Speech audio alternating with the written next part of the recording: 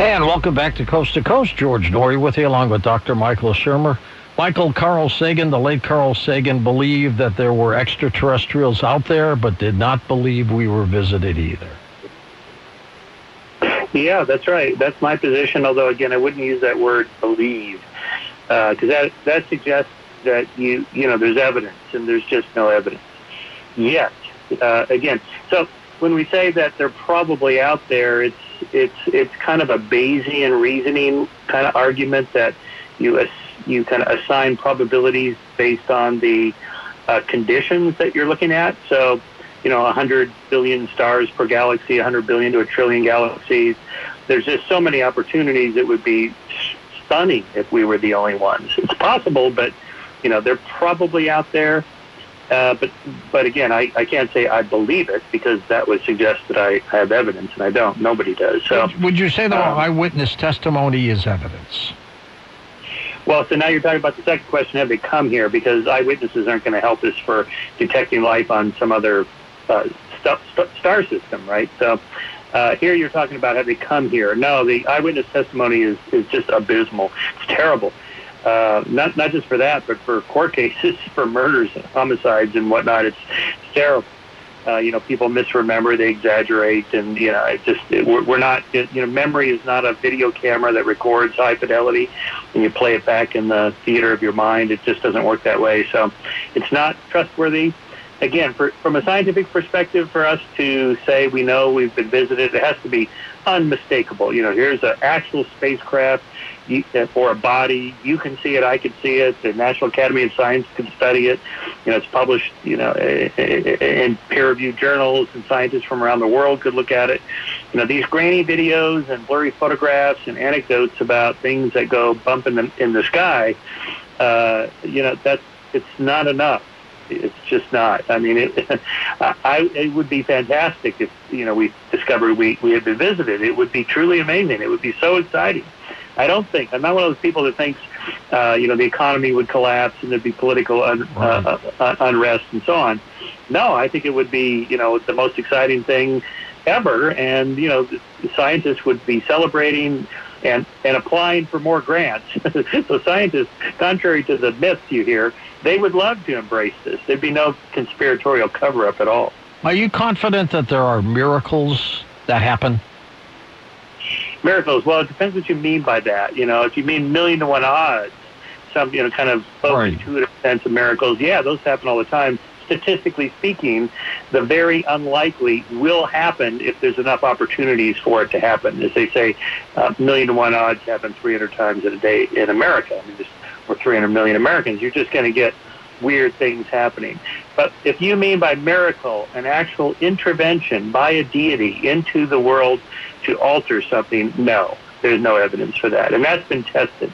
You know, the um, Templeton Foundation funded a massive study at Harvard Medical about the effects of prayer on uh, medical outcomes of heart patients and found no statistically significant difference. In fact, the prayed for group did slightly worse than the not prayed for group, although not statistically so. So there's been attempts to test that, and it hasn't borne out. There's lots of anecdotes, but the problem with anecdotes is you only hear the ones that came out, the survivorship bias. That is, the people that got prayed for and they survived. What about all the the loving Christian families who prayed for their loved ones with cancer and their loved ones died? right? We, we don't hear about them. But that's what usually happens with cancer, unfortunately. Or, you know, the Christian soldiers who uh, were mutilated or killed in Iraq and Afghanistan. And we hear about the miracles, the handful of miracles, but never about, you know, what happens to most of them who are injured or, you know, like that. Well, where was God for those? So that, that seems to me a problem.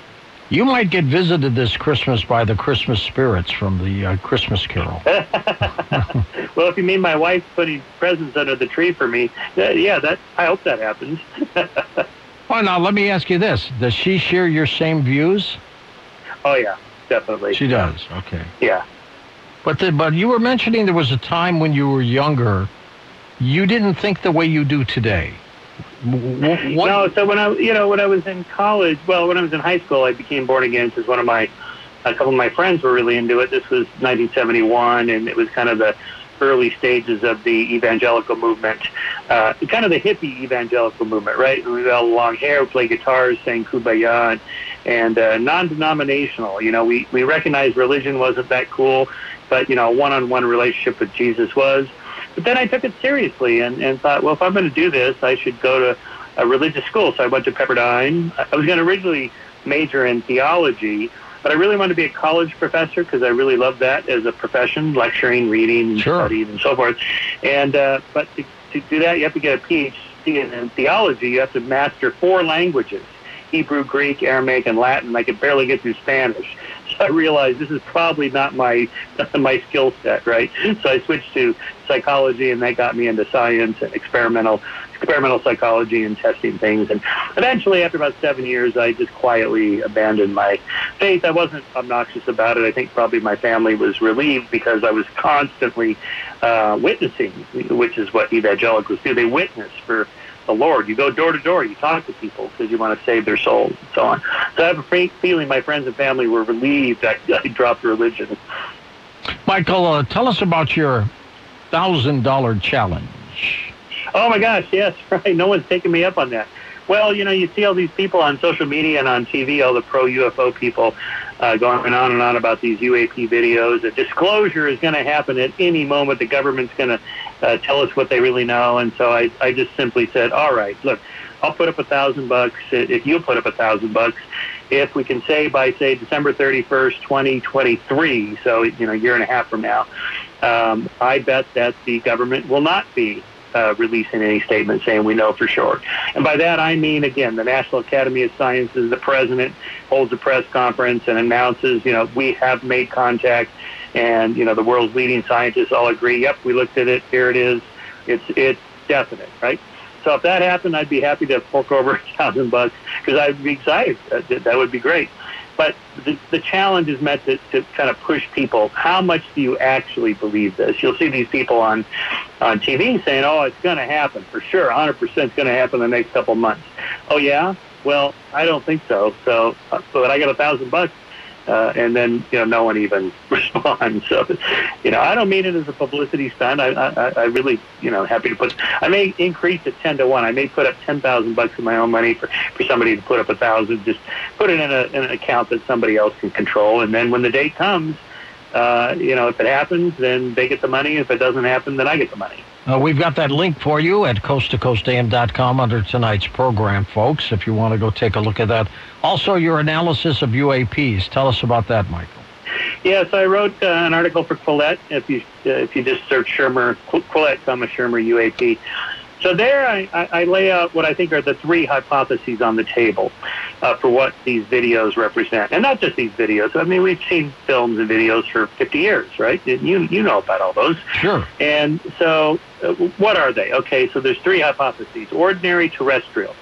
And, you know, here I'll give you the list of possibilities from Leslie Kean, whom I know you know, who's a, you know, a largely pro-ufologist. From her book, UFOs, Generals, Pilots, and government officials go on the record.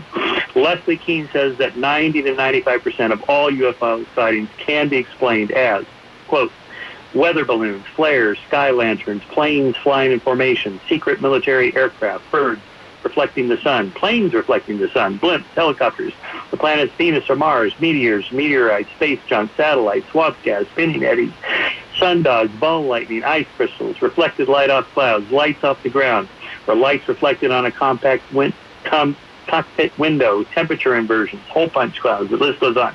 All right, so whatever it is we're talking about, it's probably in that 95% bin. Now, the other two are also possible. I'm not saying they're impossible. The other two are ord- uh, extraordinary terrestrial. So this would be like Russian or Chinese drones. Mm-hmm. That's usually what you advanced technology, far beyond anything we have. And then the third hypothesis extraordinary extraterrestrial. These are aliens. So I claim that whatever, whenever somebody comes up with a new X, what is this video? What is this photograph? If there's a 95% probability by the UFO people's own estimates that it's ordinary terrestrial phenomenon.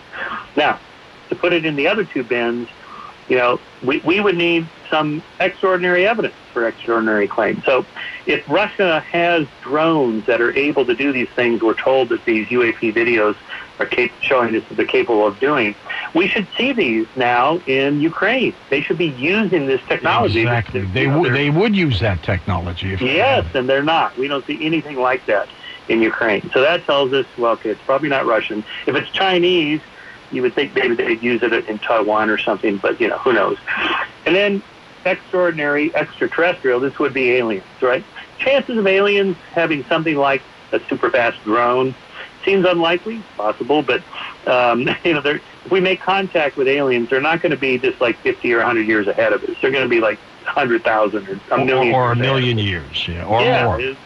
uh, I mean, they again, they would be indistinguishable from God. I mean, they would be capable of things that we just can't even conceive of, right? So if we're, you know, this is one explanation for the Fermi paradox. Where is everybody? You know, the zoo, the kind of the cloaking zoo. You know, they're secret. They're they are here. They're watching us, but we we can't see them because they're maybe they're not physical beings anymore. Maybe they're you know on light beams or they're in the cloud or something like that. But I mean, it, again, it's you know we can't even conceive of what they might be like. So, but uh, I, I, so you come across a new mystery. What is it? Ninety-five percent chance it's in that first bin.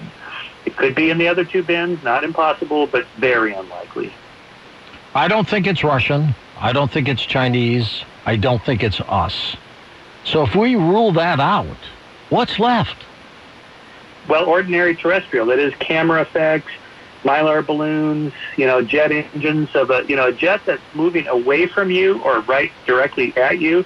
It doesn't look like it's moving. You know, I live in Southern California, so I can see planes coming into LAX and leaving LAX, and when it's in your line of sight, it's kind of weird looking because it, it, you- can tell it's a plane, but it doesn't seem to be moving. And the reason is because it's coming right at you or it's going right directly away from you. And so there's a lot of effects like that. If you look at the Tic Tac video, uh, there's a moment where the, the, the little Tic Tac blurry again. It's probably just the, the heat signature of the engine of the jet moving away from the, the camera. But at some moment, it, it zooms off to the left. And, and these UAP, UFO people make a big deal about how fast it moved off to the left. No one, except my friend Mick West, who pointed this out, points out that the, in the upper left corner of the video, there's a, a, a thing called zoom. And it goes from 1.0 to 2.0.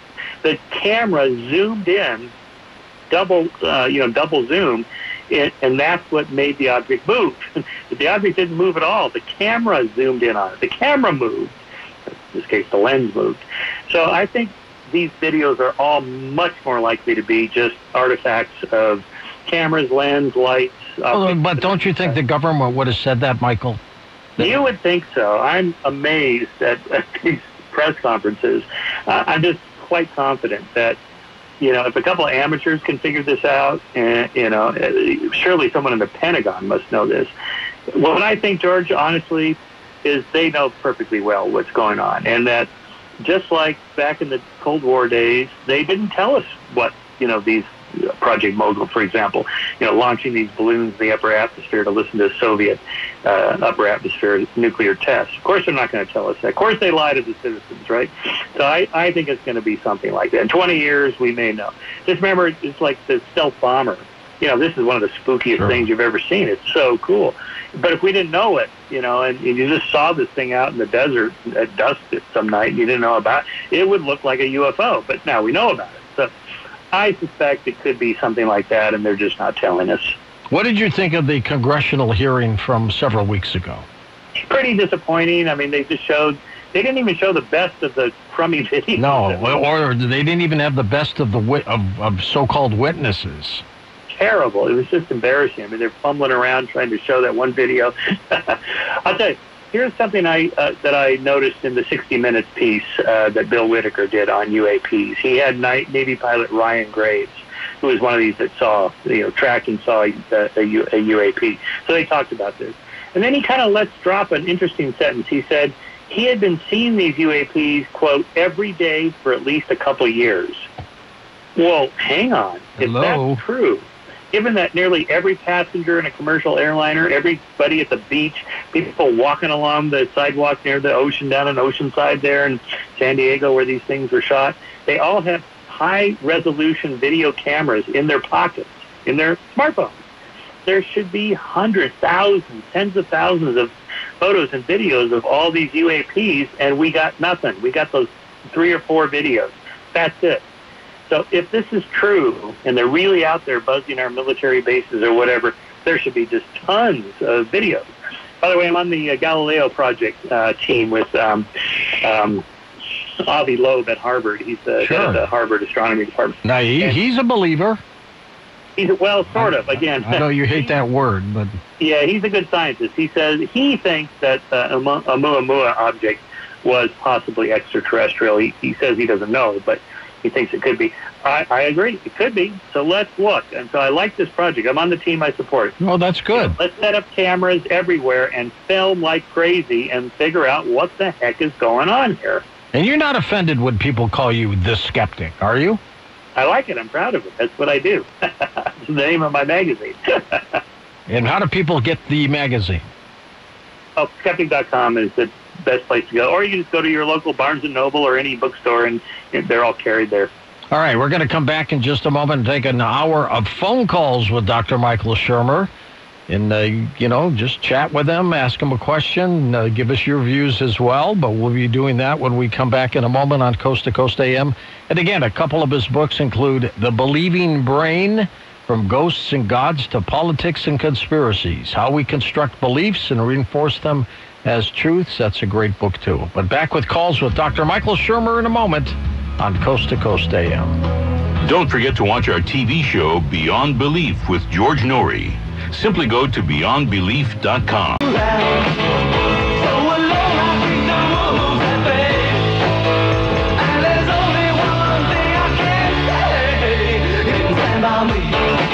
To George Noory, call the wildcard line at 818-501-4109. The first time caller line is 818-501-4721. To talk toll free from east of the Rockies, call 800-825-5033. From west of the Rockies toll free, call 800-618-8255. To reach George via Skype, use Skype name George97313. Send George a text message anytime at 818-298-6521. This is Coast to Coast AM with George Noory. Well, this hour we'll take your calls with the skeptic, Dr. Michael Shermer. Jump on board and let's see what you think with him, and uh, we'll move on from there. If you're fed up with cable news, time for a change, huh? It's time for Greta Van Susteren again. Greta's back, and she's on Newsmax now, America's fastest growing cable news channel. It's great to watch Newsmax. I give it a shot all the time. Greta is taking on big business now. Big Washington, D.C. news, big media at 6 p.m. Eastern tonight, and every weeknight with her new show, The Record with Greta Van Susteren. Greta gives you the real news and the facts that you need to know. Check out Newsmax's new lineup with Greta, Rob Schmitt, Eric Bolling, Greg Kelly, and more.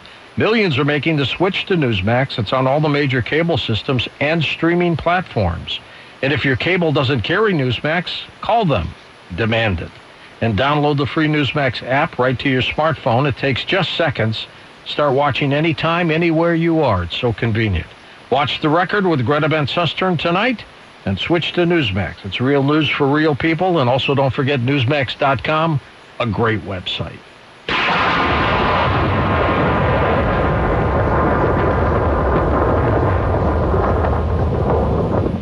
Is your current home loan the right fit for you? Rising home values mean that you could have more home equity than you might imagine. And if you're considering a refi, an expertly chosen loan from Loan Depot could save you thousands. Ask about their smart term loans, cash out, and over 300 loan options to find just the right mortgage loan for you. Call now 866-888-LOAN or go to loandepot.com. Loan Depot, where home means everything. Rates are subject to change. Equal housing opportunity lender. NMLS number 174457. Licensed in all 50 states. we tell anybody that has a dog if there was something that you can do right from the beginning so that you don't have expensive veterinary bills, why would you not do it? D-I-N-O-V-I-T-E dot com. Dinovite is nutrition. The Dinovite will make your dog happy, vivacious, jump up and down, wag their tails. It will make you smile. You get some Dinovite, how happy your dog will be. I get my Dinovite from D-I-N-O-V-I-T-E dot com.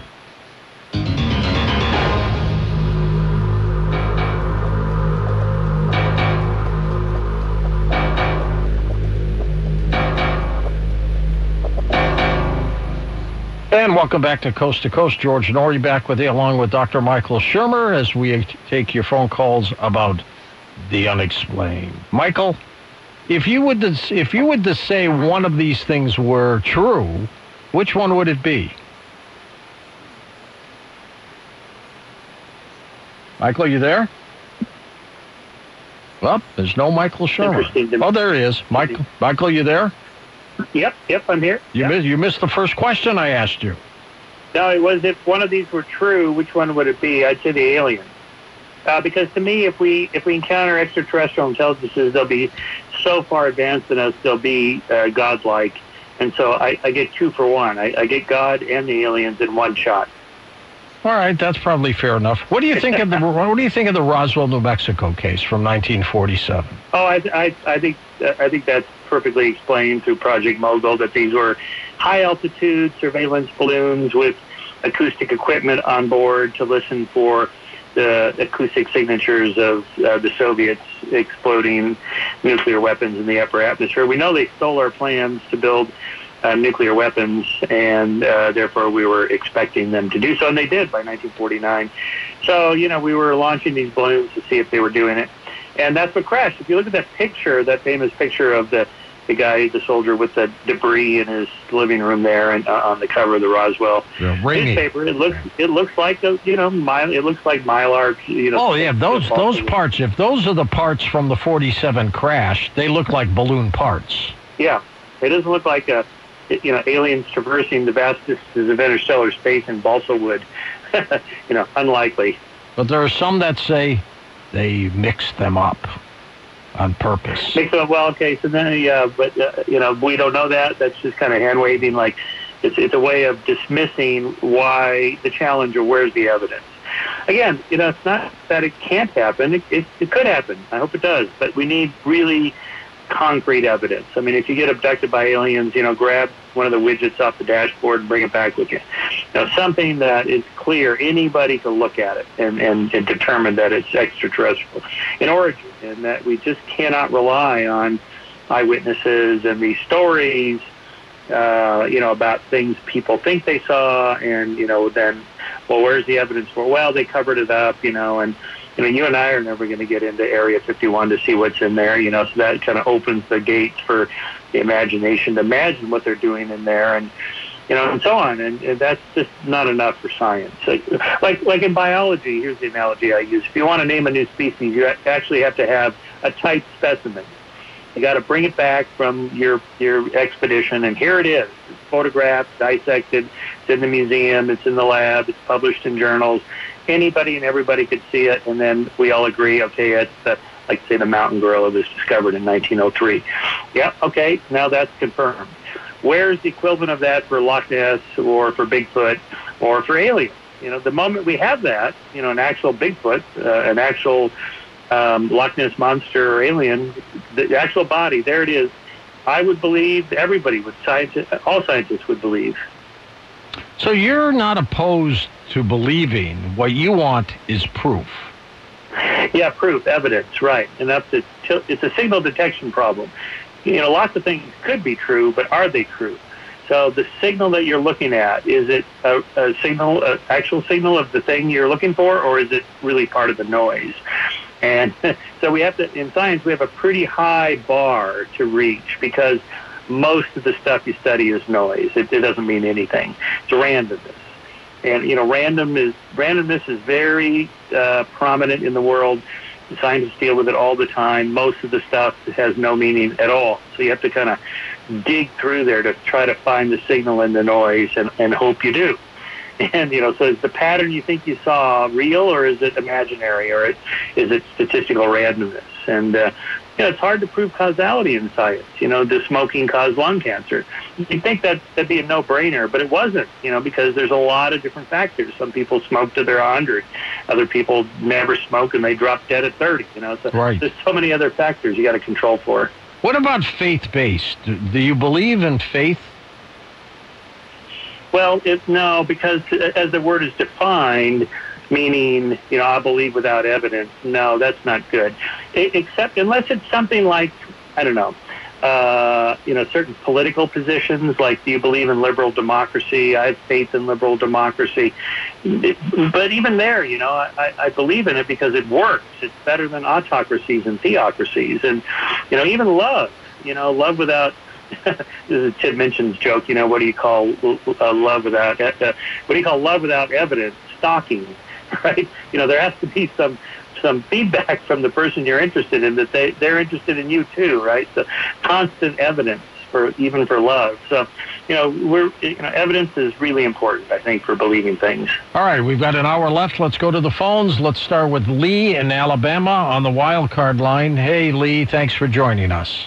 Hey, George and Michael. Um, I wanted to ask Michael if if Bigfoot doesn't exist, what do you think your what would your best guess be that people are reporting they're seeing and hearing when they're out in the wilderness area? Good question. People are Yeah, seeing something, Michael. Usually, it turns out when these sightings are in uh, Canada and, and uh, say state of Washington or in Northwest. the Himalayas, it's bears. Uh, there's a famous alpinist, Reinhold Messner, the greatest alpinist of all time. He summited Everest seven times without oxygen. This guy's a stud. He wrote a book about Bigfoot, a Yeti, as they called it, in the Himalayas. And he had told the Sherpas, I'm really interested in finding this thing. Let's, if you see anything, let me know. So one day he reports that they woke him up in his tent and they go, Yeti, it's Yeti. He's over there. He's over there. He's like, oh my God, oh my God. He runs over there. And it's a bear. He goes, that's Yeti? Yeah, that's Yeti. He's like, oh, okay. so they had a different name for it. But, you know, it's just a bear. What about the Very old abominable snowman? Remember that? Out there in the Himalayas? Abominable Snowman, right. But again, this isn't like the paranormal, you know, that can't be true because it would violate the laws of physics. You know, there there could be another, there was, there were a number of bipedal primates in existence over the last 300,000 years. We're the last survivors. Neanderthals went extinct about 35,000 years ago.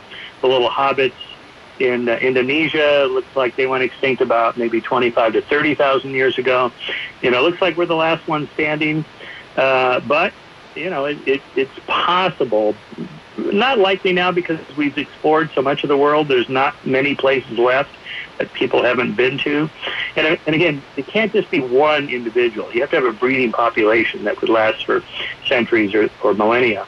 So you need a couple hundred individuals at the very least. And, you know, if, if, if that's the case, then surely there'd be a roadkill somewhere. You know, a, you find a dead one that, you know, floats up uh, uh, on the shore like whales do. You know, there, there, there'd be a body somewhere by now. Loch Ness Monster, what do you think? Yeah, same thing. You know, it could be there. But again, it can't be one monster for the last century. You know, no, Well, no, No nothing could live that long. yeah, it has to be a breeding population. And, you know, there's been so many people out there with radar and sonar and, you know, cameras and everything else. And there's, you know, all we get are these kind of weird waves and, you know, kind of shadows and, you know, weird objects. It could be a stick or it could be something else. Yeah. Uh, again, just we need a body. Okay, for a biologist to name a new species, just show us the body and we'll believe. And, and until then, it's reasonable to be skeptical. Big time. Next up, we go to Doug in New Mexico, west of the Rockies. Douglas, you're on. Yeah, Dr. Michael Sherman, um, you're completely wrong in your conclusions and your contentions. Um, Gordon Cooper, one of the original Mercury astronauts, actually tracked one of these, filmed it, and watched it land. That film was taken from him and never seen again. That's Lieutenant true. Commander, at the time of Commander Fravor, actually saw these things in a Tic Tac UFO, along with his Lieutenant Commander. Wingmen saw it, and they interviewed these people in 60 minutes. Okay, we also have the Cash Landrum, which was very well documented. This lady saw this thing. It burned up her car. It burned her up. She died of cancer. Then there's the Japan Airlines flight of 1628. They tracked a gigantic UFO. Three different radars tracked this thing, Doctor. How can you be a skeptic with all this evidence? Okay, there's a lot. there's- Those are all different examples. So- Fair, fair questions, too, Mike. Yeah, yeah, it could be that. Uh, I mean, it's very probable that what you're talking about are things that actually were out there. I'm not saying that uh, uh, Uh, each of these has a different explanation. So it could be something that's actually out there. I'm not saying they're they're fantas- imagining this or hallucinating that. But but what is it that they saw? Remember, the U in UFO just means unidentified. That, that doesn't mean it's extraterrestrial. It doesn't mean government cover-up. It just means we don't know what it is. And you know, this is the problem the problem of anomalies in science that no theory explains everything, right? There's always going to be a residue of unexplained phenomena. Sometimes that leads to a whole new theory, like Einstein's relativity from the anomalies in Mercury's orbit. Could be, could be something like that. Um, and the fact that some of these UAP videos are not only uh, not not only the video, but you have the radar tracking and the eyewitness. Okay, that's you know that's kind of a triangulation. That's better than than than the normal stuff we get, but it's still not enough to say definitively this is what it was. And I'm familiar with um, you know the the Navy pilots' um, various podcast interviews, and of course the 60 Minutes piece I've watched several times. And you know, again, I, I had that quote uh, from Ryan Graves, the Navy pilot that Bill Whitaker interviewed on 60 Minutes, who said he'd seen these things every day for at least a couple years, quote. And if that's true, and, and, you know, nearly every passenger on a commercial airliner has a smartphone with a high definition camera. There's thousands of people walking around the ground with these cameras. If these objects are buzzing around our airspace, we should have thousands, tens of thousands of high resolution videos and photographs, and we don't that indicates that you know there's probably it's probably not what a lot of people think it is. But again, I, uh, let's get better cameras, right? So the Galileo project at Harvard that I'm part of with Avi Loeb, you know, he's he's proposing and raising money to set up hundreds and hundreds of of these astronomical cameras that would be stationed all over the world, including at you know near military bases where these things appear seem to appear and let's photograph them high resolution and, and get rid of all the noise and see if we can find a signal in there. So I support that. Let's go east of the Rockies. Phillips with us, Bangor, Maine. Philip, hi there. Hi, thanks for uh, taking my call. Oh, of course, thank um, you.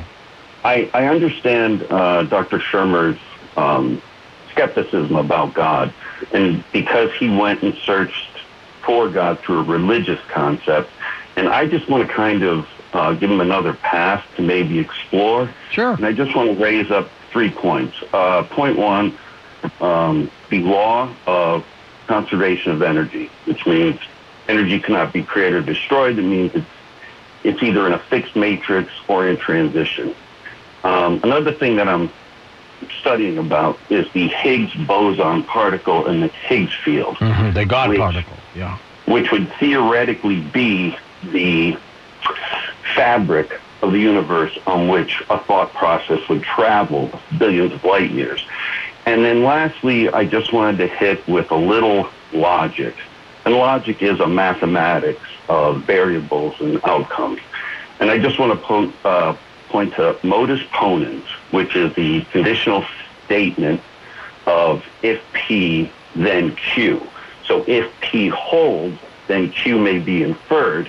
So if I have a consciousness and I don't contain every element in the universe, then an object, i.e. the primeval atom, that contains every element in the universe must have a consciousness or at least a high probability of one. Here to react to some of that, Michael? Oh boy, that's a lot in there. Well, first of all, of course, if P then Q. If not P, then not Q, or if not Q, does that imply not P? Right? So there's other options in that logic formula. Uh, consciousness is, you know, that's, that's a very loaded word.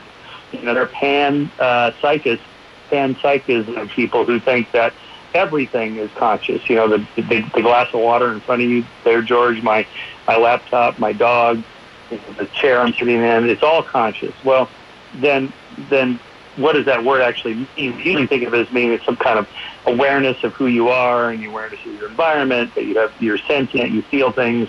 You know, I don't see how an atom can feel things. Uh, but you know, again, it depends on how, how you define that word, which is a very fuzzy word.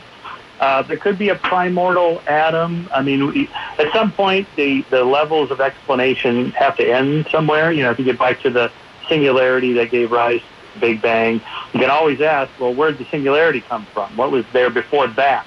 You know, what time was it before time began? And, you know, at some point you just hit a wall. You go, I don't, I don't even know what you're talking about.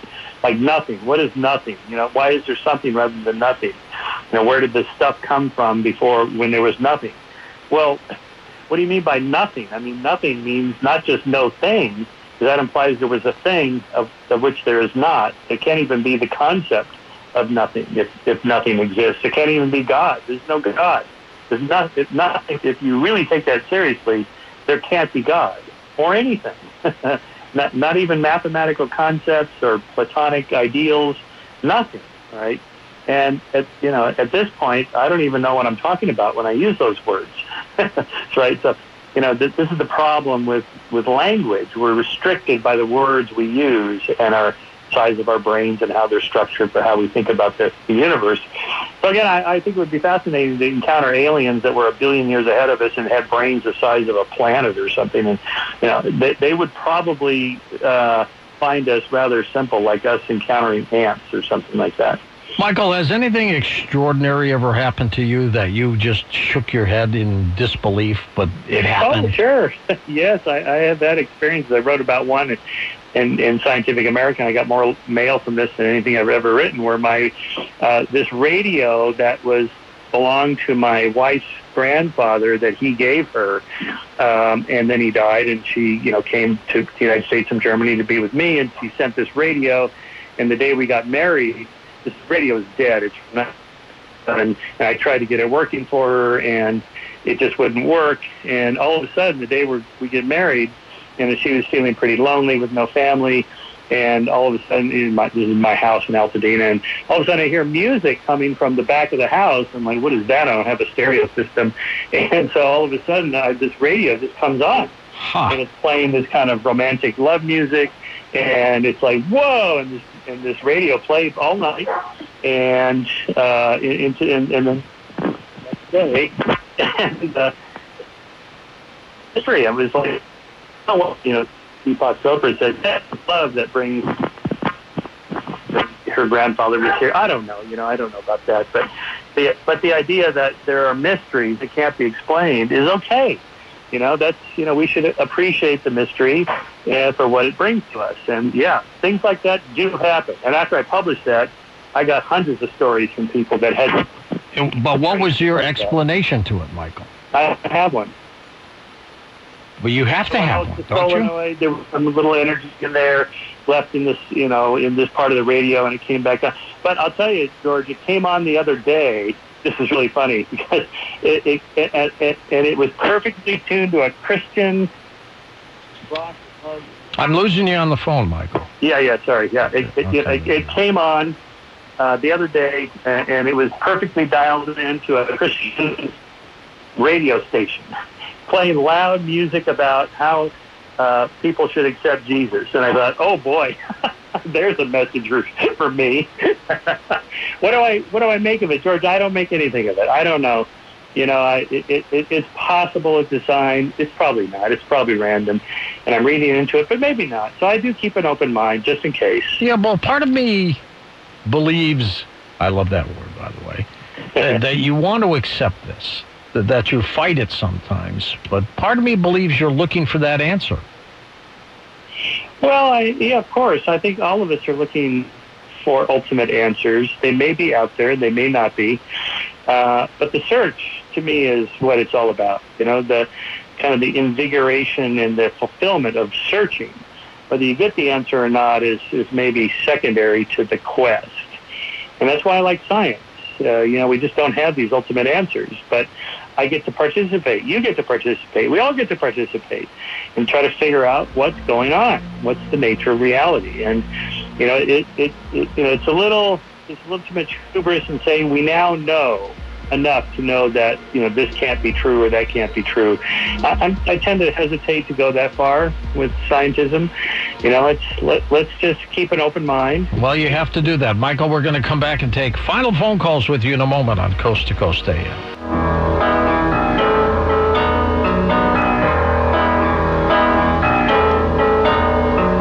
When you're alone and life is making you lonely, you can always go downtown. When you've got worries, all the noise and the hurry seems to help, I know.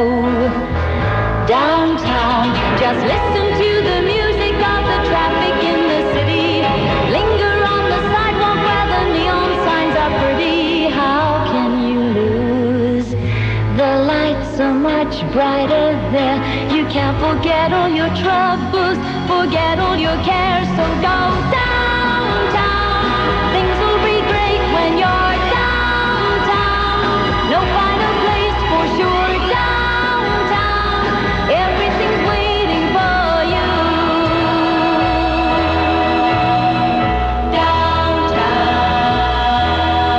Downtown. Don't hang around and let your problems surround you. There are movie shows downtown. Maybe you know some little places to go to where they never close. Downtown, just listen to the rhythm of a gentle bossa nova. You'll be dancing with them too before the night is over. Happy again. Much brighter there. You can't forget all your troubles, forget all your cares. So go downtown, where all the lights are bright.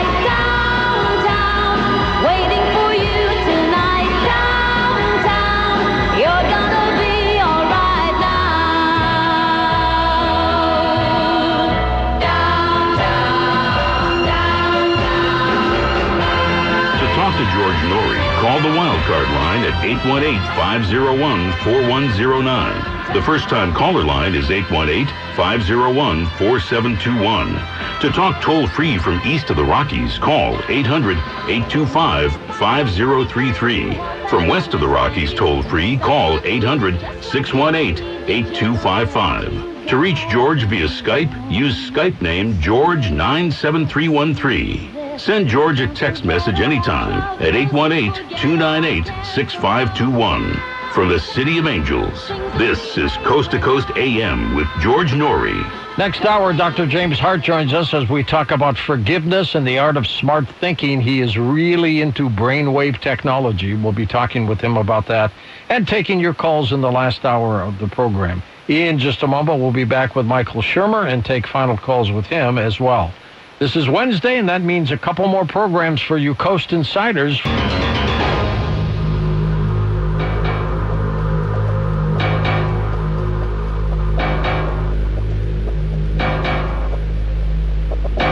And welcome back to Coast to Coast. George Noory with you, along with Dr. Michael Shermer. Michael, why do you believe most scientists tend to be on the skeptical side of things? Uh, because most hypotheses turn out not to be true, including those proposed by scientists. And so it's, there's kind of a certain amount of conservatism built into the system uh, because of experience of knowing that uh, most things turn out not to be true.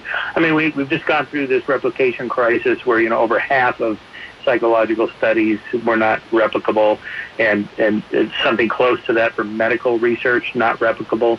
That tells us that even the rigorous systems we have set up are not as reliable as we need them to be. And, and now we figured out what's going on, so we made some corrections. But again, it's just because most things people believe turn out not to be true. So it's, it, there's a real virtue to being skeptical because usually things don't turn out like you, you hope they will. You are a skeptic on your own decision. Nobody pulled you kicking and screaming into it. Are you glad you are what you are?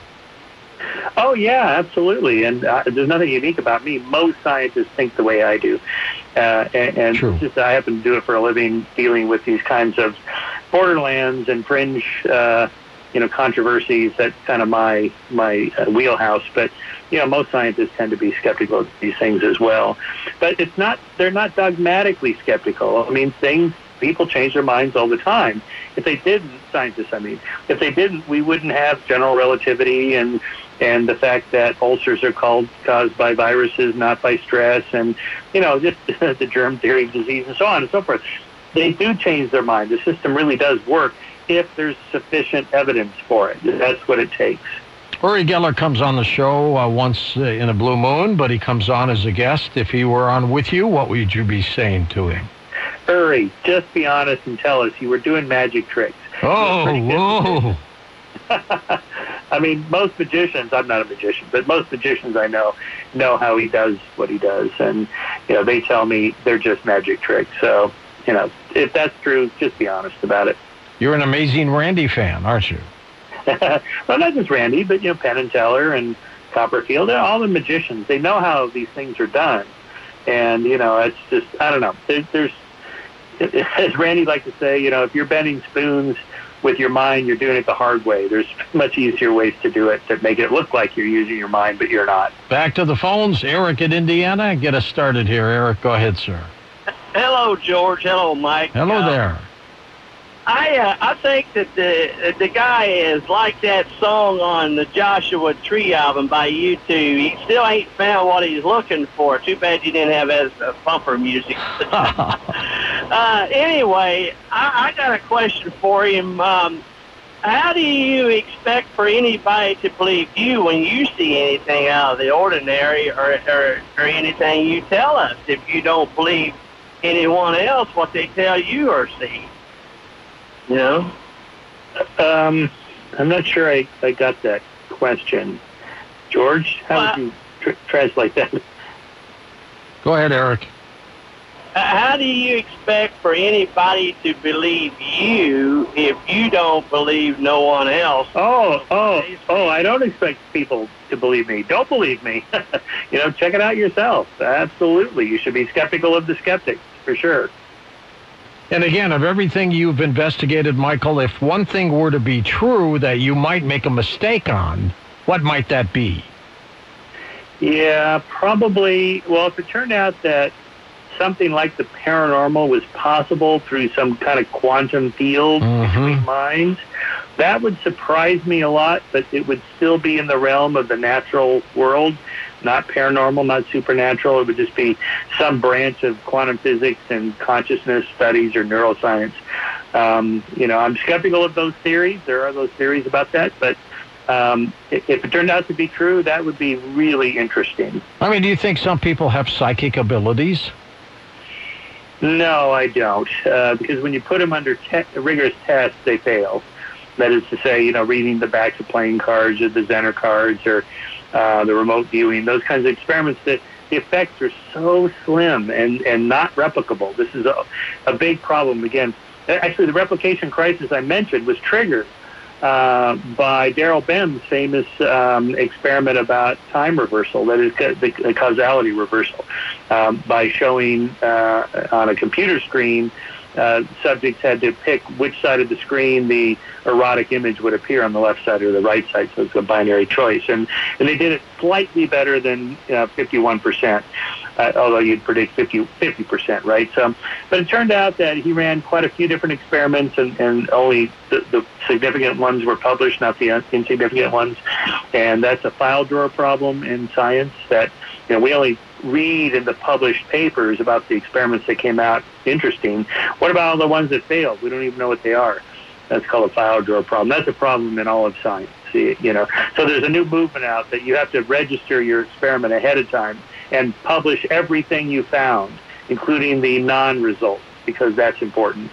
On the wild card line, Brendan's with us, Austin, Texas. Welcome to the program. Hi, Brendan.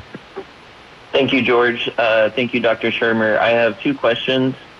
Okay. Uh, my first question is, so how would you start in debunking uh, physical objects flying through the air, like poltergeist activity? Let's do one at a time, Michael. Go ahead. Oh, poltergeist, yeah. Well, so first of all, it's not really debunking. It's just we, we, we want to explain what it is you think you saw or what the video shows or, or whatever. And uh, there were some interesting videos or photographs of things that look like what you just described. And of course, you could do that with a photograph. You just take an object and you just throw it up in the air, and someone snaps a picture of it and looks like it's hovering. Uh, or the people that used to, you know, the Maharishi would have people sitting in the lotus position and bouncing on a mattress. And you take a picture of them when they're bouncing on the upside. So it looks like they're hovering above the ground. But of course, they fall right back to the ground. No one can levitate. And uh, so, uh, again, photography is not that reliable, right? It could be, it can be, um, you know, staged. Let's go back to your second question, Brendan. Go ahead. Hey, thanks, uh, Dr. Shermer. I appreciated that. Yeah, photography can definitely be, manipulated. Um, I've seen some stuff like fly in person though, and your brain immediately starts clicking of how does how do you explain that? But um, my second question, real quick, is um, how do you feel about bringing scientific instruments into investigations to link the activity of entities to the scientific energy in the in the area. Like in the moment of a manifestation, um, people have tri-field meters go off, and I thought it was interesting that you brought up the radio experience you had because that's what tri-field meters can read Yeah. is radio Right. waves and things like that. And one last Yeah. quick thing with uh, the Department of Defense and the Pentagon when they went to Skinwalker Ranch, you know, they encountered an entity or an intelligence that would obstruct them from collecting evidence. So if you're if you are having an experience with something that's intelligent, it will might try to block you from getting the evidence. Yeah. Okay, there's several things there. Let me just address them one by one. So first of all, seeing things that appear miraculous is again not reliable. I've seen David Copperfield walk right through a wall. I've seen Penn and Teller. I've seen Teller levitate or he walks on water, I should say. Uh, you know, I've seen Penn and Teller do the double bullet catch. You know, I don't know how they do these things, but I know that they're not doing it through supernatural paranormal powers. They're doing it through magic. So when you see somebody do something and you don't know how it's done, and you don't know who the person is, you know, the mind goes toward, well, it must be something paranormal, supernatural. But if you were in a magic show, if you were in a Vegas casino watching Penn and Teller, you wouldn't think, oh my God, I have no idea how they just did that. Uh, so it must be a, a miraculous thing or paranormal. No, you wouldn't think that. You know it's a magic trick, right? So just apply that principle to, you know, anything you see. It- Not necessarily that they're magicians. You just, the fact that you don't know how it's done doesn't mean it's anything uh, out of the ordinary. Okay, uh, the Skinwalker Ranch thing, you know, I've not been there. I want to go there. Uh, you know, there's lots of stories about it, but again, stories are not enough. We need something more. And, the, you know, the videos are always, you know, they're just like, oh, I'm not sure I saw what you think you, I, you think you saw. You know, it's just, it needs to be really clear. And extraordinary claims require extraordinary evidence. And so if you're claiming that, you know, this object that we saw, saw at Skinwalker Ranch, you know, is going to overturn all of physics and biology, well, it better be really good evidence. and it's not. You know, that's again like the UAP videos. They're so crummy. Like, come on, there's got to be better videos than that if these things are really out there buzzing our airspace, particularly military bases, right? And uh, anyway, now I lost my train of thought. What the third one was you mentioned, but Skinwalker. but in general, you know, it's just uh, uh, just be skeptical if the evidence isn't extraordinary. Let's go to first time caller Jamie in the city of New York. Jamie, thanks for calling. Go ahead. First of all, wow, I'm on the phone with George Noory. I can't believe it. I've been listening. To I'm on the phone with Jamie. What's the wow? awesome, guys. Thanks for taking my call. Um, so, listen, I just want to pitch this to you. Um, I'm not a crazy conspiracy theorist or anything, but I strongly believe with all my heart that what folks are seeing in the sky are secret military crafts, and here's why. In Nikola Tesla's time, he said that he could prove, if well funded, that we can obtain limitless energy from the Earth's upper atmosphere. He sealed his fate when he used the word free energy. Obviously, J.P. Morgan wasn't going for that, and Edison won, you know, won uh, everybody's favor. And Nikola Tesla was, they made a mockery of him. Um, I believe with all my heart that the government had a feeling Nikola was on, or, or excuse me, Tesla was onto something, and conducted experiments all these decades with his scientific prowess and discovered they- they- indeed he was right and that through electromagnetic manipulation you can create anti-gravitational fields which cancel out g-forces. Um, and i believe that what we're seeing is the united states government uh, playing with toys care of nikola tesla's brilliance and the reason they want to keep it all secret is so we keep you know on the nipple of big oil and so we keep paying because we don't, they don't want us to know energy is free and they're, they've created some really magical amazing stuff that we're never going to get access to because that would erase trillions of dollars in profits. I just want to know what you think Yeah, of that. Your thoughts, Michael? Yeah, well, I have my money on the other Tesla, the electric car company, and uh, and Elon. Um, you know, it's people said similar things to what you just said in the '90s before Tesla. You know, there's there's some cover up. The government's trying to keep electric cars down, the oil companies, and so on and so forth. Yet somehow here we are. Uh, you know, all cars are going to be electric within the next you know decade or two, and Elon did it. We owe it to him, and uh, you know, kudos to him. The, uh, I doubt the government, of course, if they really could do that, would have squashed him. Um, so I, I don't tend to go that conspiratorial. I, I'm a huge admirer of Nikola Tesla. I, you know, I I think he got screwed in the in the whole deal with Edison, but that's that's not a the kind of conspiracy you're you're suggesting. Uh, the reason I think that is because no technology evolves in a vacuum. It pops out of nowhere where one country gets, you know, 100 years ahead of any other country or company gets that far ahead of any other company. Um, this is why I know the UAPs are very likely not Russian or Chinese, you know, decades or centuries ahead of the United States. That never, ever, ever happened, ever in history. Nobody gets way ahead of anybody else. Everybody rips each other off. They copy each other you know, the iPhone and the Samsung, they're pretty much the same phone. All computer laptops, they're pretty much the same. Uh, you know, even though these companies have massive security systems, they sue the crap out of each other for copyright, uh, patent uh, uh, violations, and so on, intellectual property theft that the Chinese are doing, and still. you know, with all that security, you know, that you know, that no one's very far ahead of anybody else, and and so the idea that the Chinese or Russians you know, made these super uh, drones or secret spy planes or whatever, and that's what the UAPs are. And the U.S. government just has no idea how this is happening. Not possible. We would know because we rip each other off. We spy on them. They spy well, on we better know, Michael. Michael, we're out of time. Keep in touch with us. Michael Shermer, his websites are all linked up at coasttocoastam.com. Up next, Dr. James Hart joins us as we talk about forgiveness. Can you? And also the art of smart thinking. To access the audio archives of Coast to Coast AM, log on to coasttocoastam.com.